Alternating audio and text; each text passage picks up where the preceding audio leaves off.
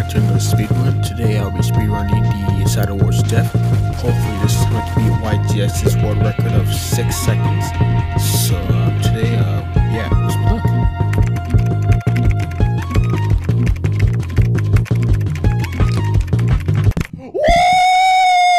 Woo! Yeah, baby! That's what I've been waiting for. That's what it's all about.